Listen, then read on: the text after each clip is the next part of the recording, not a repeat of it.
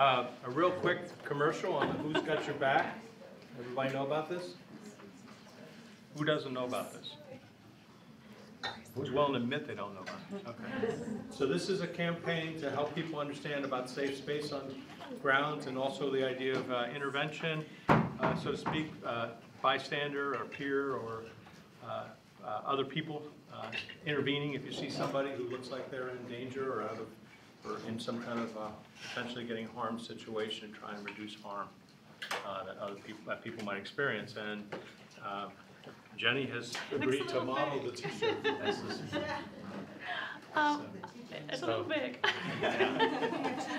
So that's, so that's, that's what that is, and, um, there's training going on this week, right?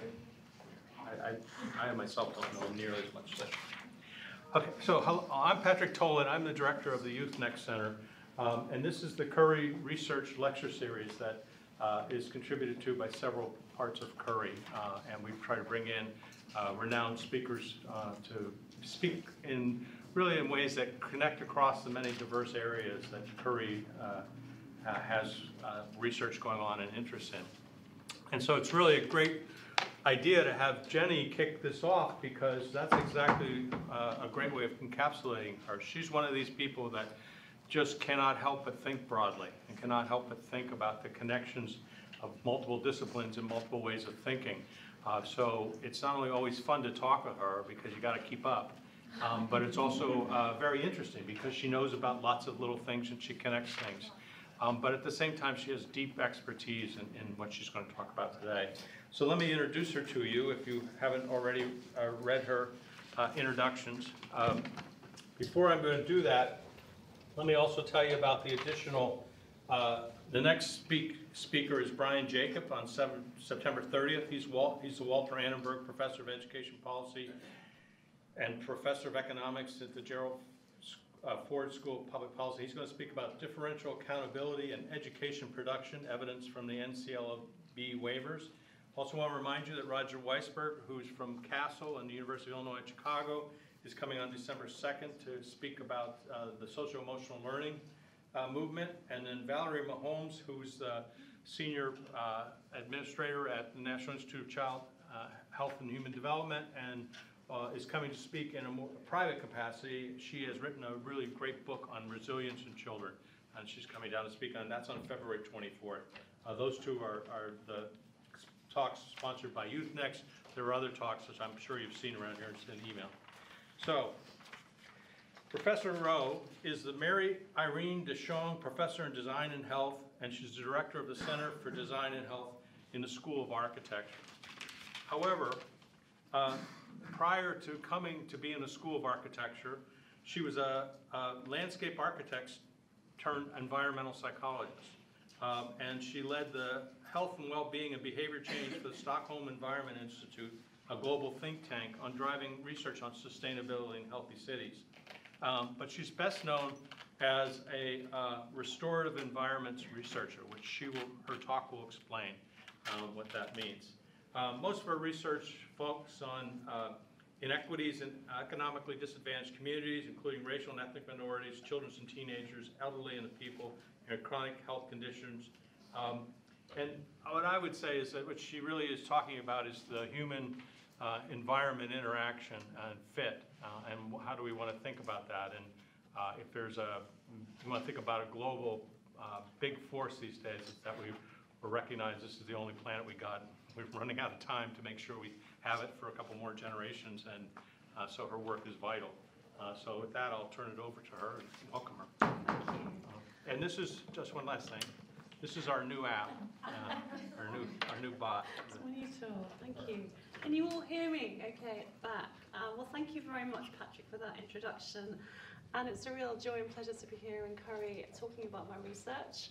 Um, I arrived from the UK last fall, and it's really wonderful how this community has embraced the notion of what I'm going to call natural solutions, using nature to really solve some of our global challenges, health and well-being, and some of our problems with behaviour in schools, which is what I'm talking about today.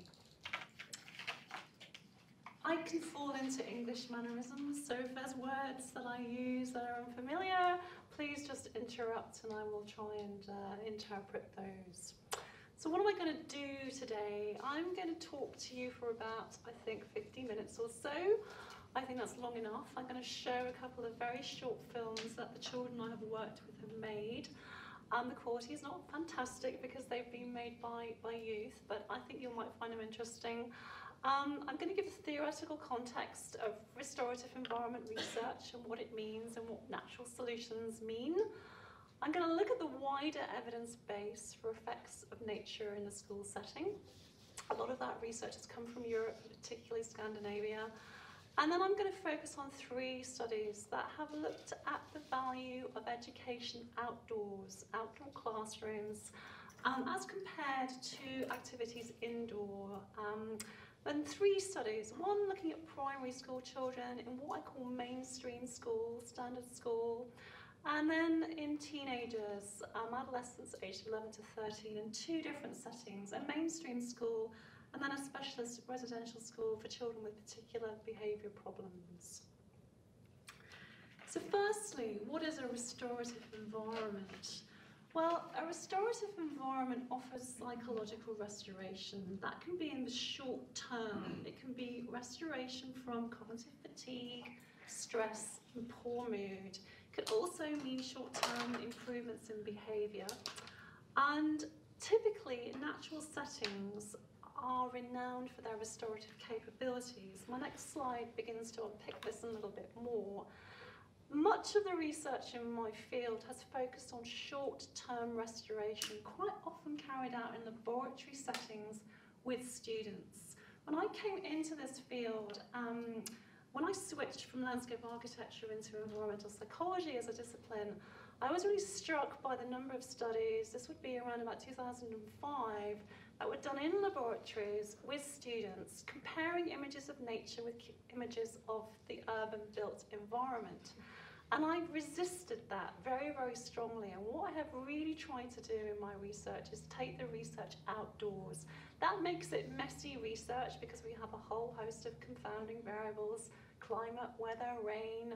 Um, we have the individuals in that environment, we can't control for them, but it's much more fascinating and, and real life to me to do that. And then a lesser um, known area of research really is what we call longer term restoration. This has been called instauration. This is the notion that a restorative environment can really build over the long term or strengthen a capability or resource like self-esteem. There's not a lot of research in that field currently, partly because longitudinal research funding is very hard to get, as I'm sure some of you are aware of. Um, so this was a really nice piece in the National Geographic in January 2016 and the image has come from the National Geographic. Um, and it really explains this effect of nature very, very simply. And Kaplan and Kaplan, two psychologists, posited this theory as long ago as 1989. It's called attention restoration theory.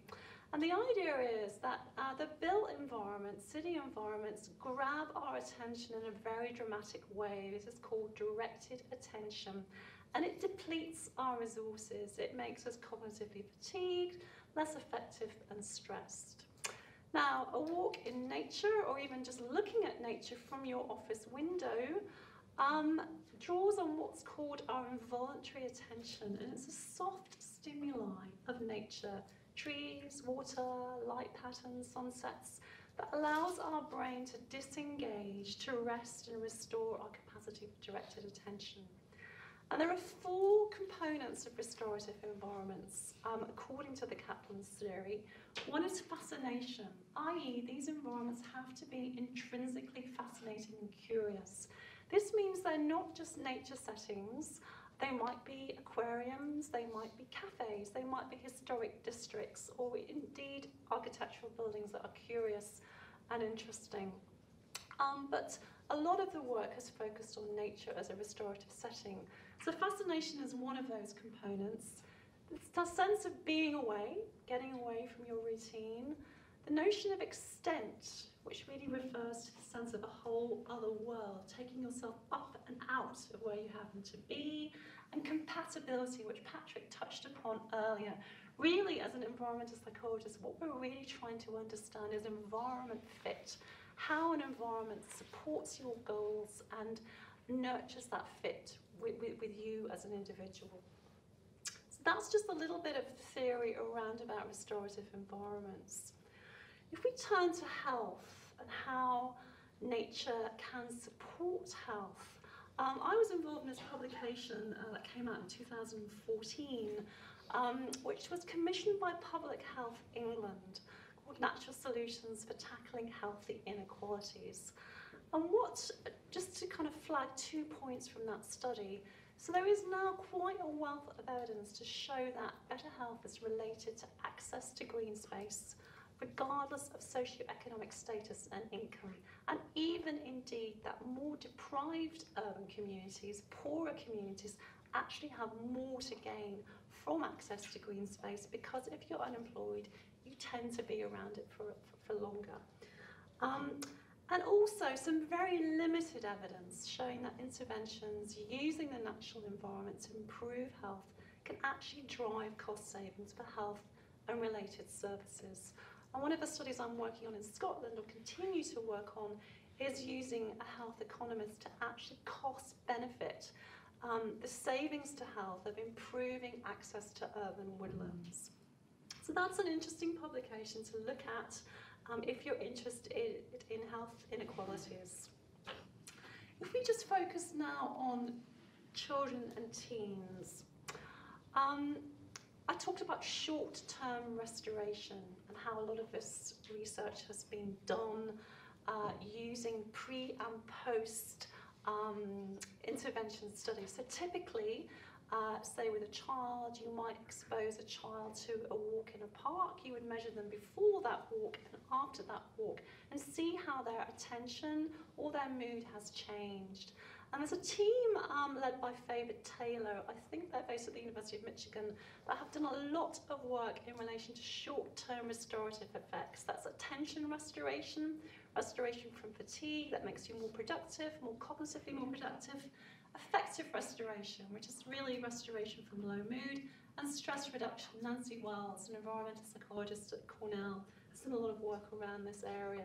But you'll see some of that work's quite dated, 2002, 2003, so not much movement there in recent years. I myself have looked at instaurative effects over time. I'm not talking about that work today. It's quite um, it's quite involved and uh, I didn't feel there was time to really relay that as well as the other studies, but I can give you a paper around that um, study if there's interest. Um, specific psychiatric conditions. Again, the Faber-Taylor team have done some very interesting work looking at children with ADHD, attention deficit disorder, and how exposure to green settings can really help with the symptom severity um, and improve behaviour.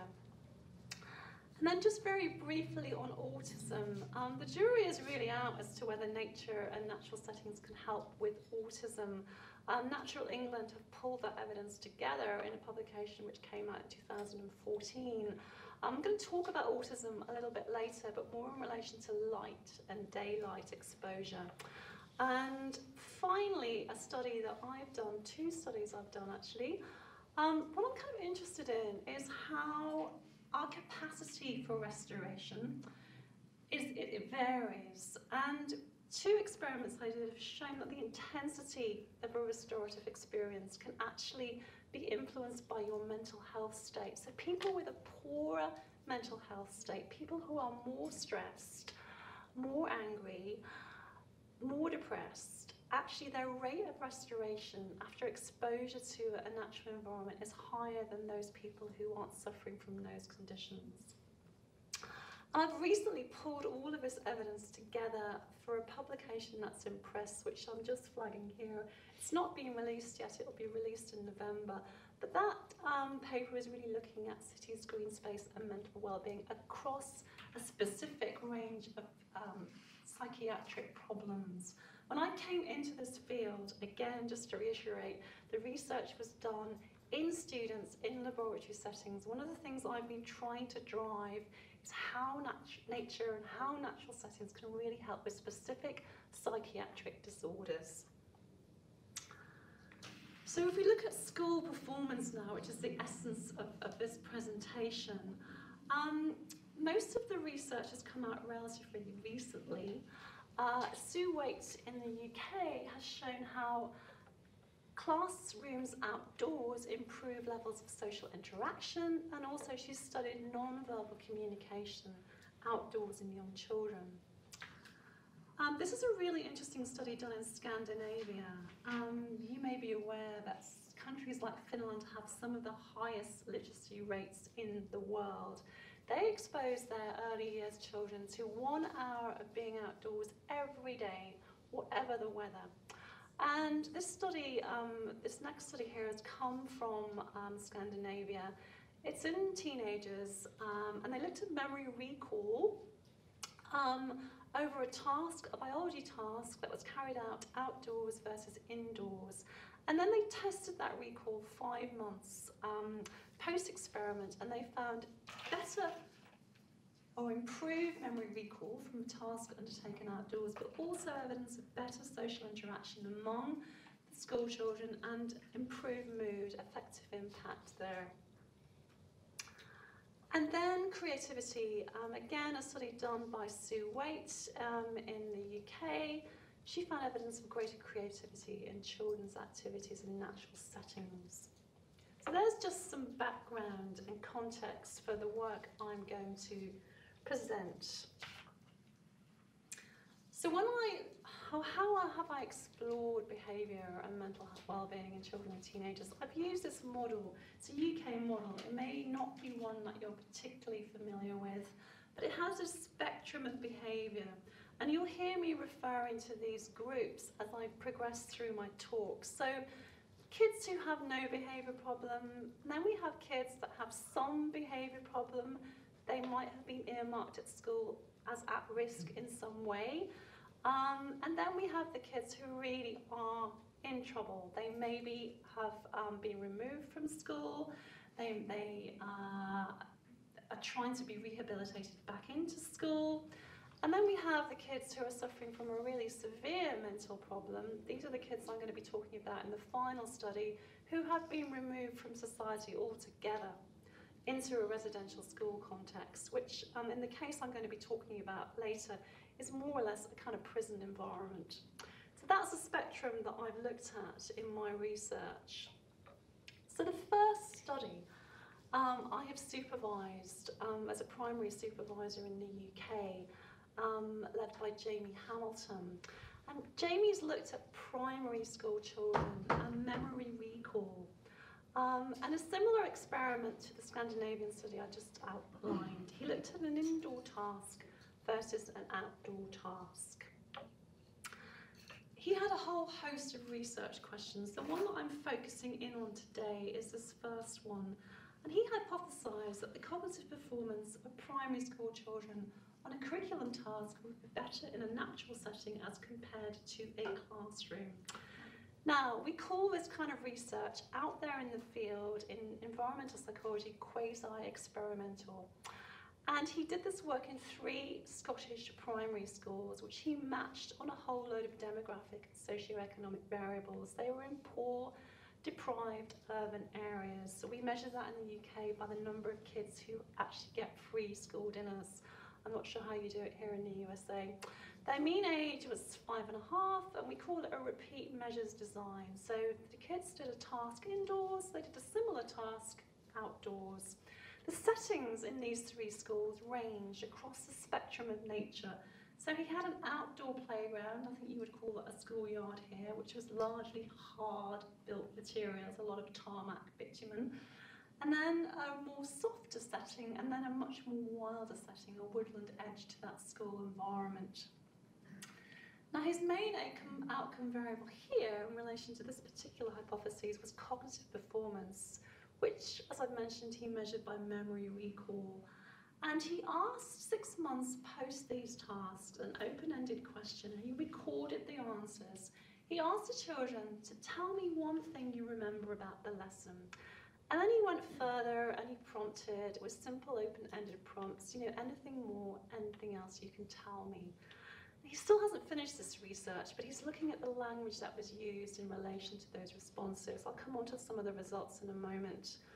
Um, I think the other thing to say about environmental psychology research is we often use mixed methods, so we triangulate. So he was using a range of other other uh, methods in terms of child task recollections, teacher interviews, he did a lot of observation and video analysis, and child and teacher surveys on setting preferences, i.e., why did the children prefer to do these tasks, and setting richness, which captured the degree of nature um, in those settings.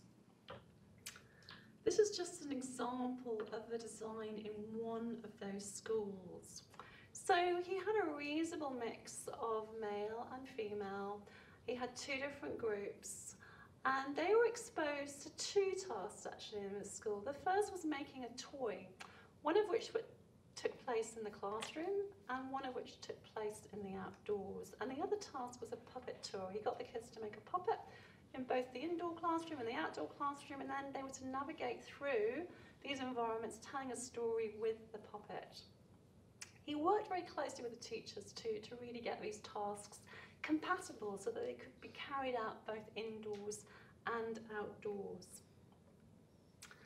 And here are just some of the results from, from the experiment. So indoors, um, understandably, the kids tended to make things that were not at real scale, using a whole host of cardboard boxes and tubes and egg cartons. And then outdoors, they showed some very interesting differences. Firstly, the teamwork was, was way superior, particularly those children who were not engaged in the classroom. So one of the teacher comments was here about a child who had some difficulties in class, who became a wee leader outside, giving people instructions. And the scale of these toys and models outdoors was really quite phenomenal. So there was, there was a difference there in social interactions. And these are just some of his survey measures that he took. So he asked the children on four performance criteria where they most enjoyed doing that experiment. Um, those are his four variables, enjoyment, um, the, the extent of ideas, the level of discovery and social interaction, and then the, the actual setting criteria, PRS means perceived restorative scale. We measure a restorative environment through these four um, attributes which I talked about earlier, fascination, compatibility, being away and extent. And he used fairly friendly, um, intuitive kind of survey methods to get their responses. So what did he find? So he found that outdoor tasks were recalled more readily and in richer detail. The language that these children used was richer in terms of their descriptions of that task. But what was interesting was the greatest level of recall uh, was actually in the wildest of the three playground settings. So nature there and its degree of wildness seemed to be making a difference. Uh, on the preference ratings, both the children and the teachers preferred the outdoor tasks. I might come back and talk about teacher preference of wild settings, because that's not always the case. And some teachers are uh, somewhat um, uh, perhaps fearful of taking children outdoors because there are more risks and it would be great to get your perspectives on that at the end. Um, the underachievers, so in each group he had a group of underachievers. Now he wasn't exposed to what their particular problems were, that was confidential. I've got some charts to show you these outcomes in a moment, but the underachievers recalled more outdoors than their peers in the wilder setting. And his observational data showed greater evidence of physical mobility. That seems fairly obvious. If you're in a bigger space, you're going to move around a bit more, but also evidence of social interaction and greater creative diversity outdoors. And just a couple of charts to show you. So this was the answer to his first prompt. What did you recall more readily? And 74% of the children recalled that outdoor task as their first task, compared to 25% who record the indoor task. If we just look at the underachievers, this is a box plot. This is the kind of chart environmental psychologists um, like to churn out. The really important thing there is the dark. I could use my pointer indeed, actually.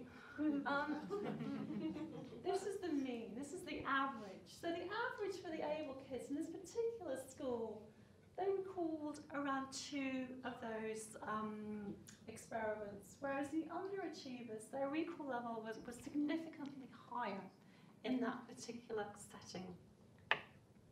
So Jamie, yeah, I'll just, Jamie's still writing this up. He's been writing it up for a long time. and um, we're really hoping he's going to submit it uh, at the end of this year. Uh, there's a lot of interest from the Scottish Government in what he's produced. And while he started the study in 2012, actually before the Scandinavian research came out around cognitive recall, and he's a little bit hacked off that they've kind of um, beaten him to it in terms of his findings. But really, it was a very innovative uh, notion to look at cognitive recall in, in early years. Okay, so study two now moves on to the older age group. These were studies in teenagers, adolescents aged 11 to 12, looking at restorative health outcomes of forest versus indoor settings in young people with varying behaviour states. I did try and edit my language, but occasionally uh, I get some spellings that creep in from the UK in relation to babe behaviour, and there's one there. Um, so here we are in a deprived inner city school in Glasgow with a study number of 18, um, aged 11 to 13 actually, there were two years involved in this study. I'm going to show you a short clip of the film that these children made, or teenagers made I should say, uh, which will give you an indication, but you can see from the, this is Scotland in the winter. Um, it's pretty, pretty, pretty tough. and it's pretty muddy. And there were some problems in relation to that in terms of staff engagement, which I'll talk about in a while. And the study design was, um, we had again two behaviour groups. So we had a group for very simplistic terms defined as good versus poor behaviour. Again, we weren't a party to what was particularly an issue with those young people's behaviour, but some of them had been excluded from school because of their behavioural problems. And I measured them over a day.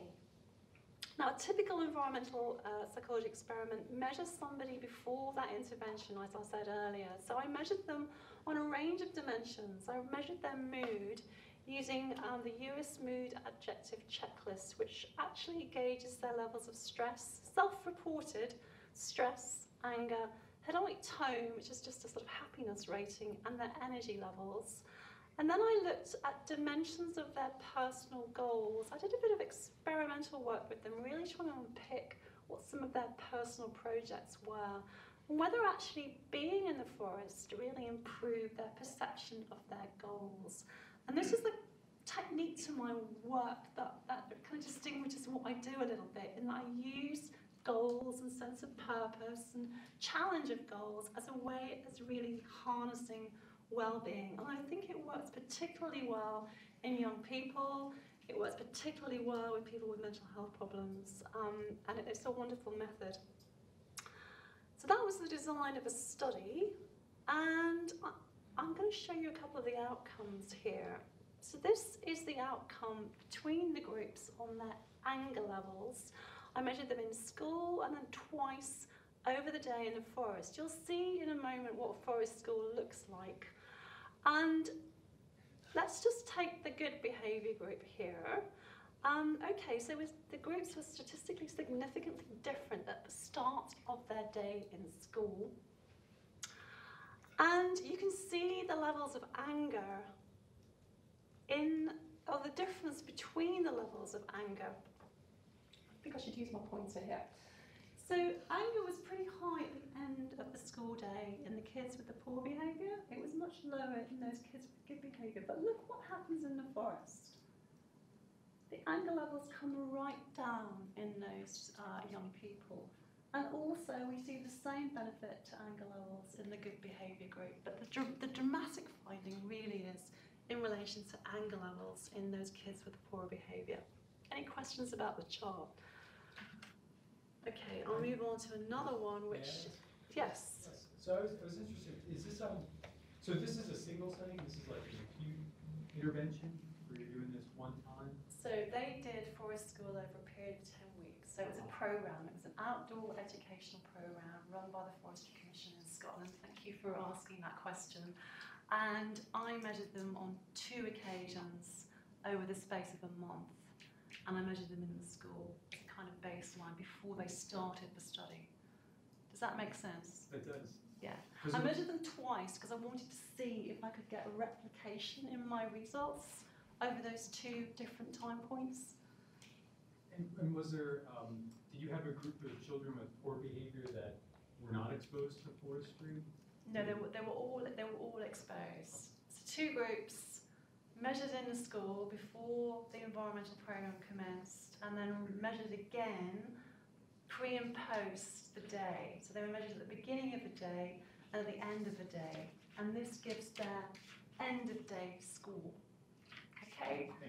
So, um, and then we have the same kind of chart showing the change in hedonic tone.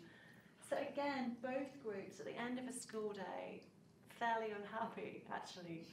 Um, but if we look at their hedonic tone levels in the forest setting, we see a vast improvement in their, in their mood at the end of that day, which is also reflected on their energy as well. Um, but we see a difference here, okay? So the kids with the good behaviour were not as happy as the kids with the poor behaviour. And I'm going to try and show a film now that will help unpick what was going on here in the forest. What I want to say about the film is um, it's not good quality. It's made entirely by these young people. They were entirely in control of what questions they asked and what they filmed. The idea was to have um, a video booth. Uh, do you have Big Brother here in the States? So we took the model from Big Brother where uh, candidates can go into a booth and talk about how they feel. And this is what we had in this forest. They created it, they set it up, and they monitored it and filmed it and uh, were involved in some of the editing. And I'm going to try and show you just three minutes worth of what they produced.